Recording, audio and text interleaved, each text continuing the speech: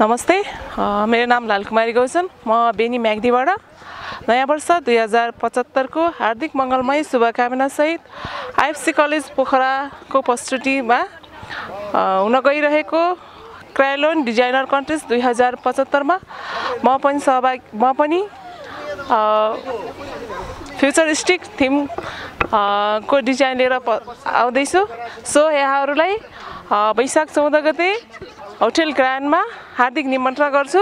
साथै यो अपर्च्युनिटीको लागि आइएफसी कलेजप्रति हार्दिक आभार प्रकट गर्छु। धन्यवाद।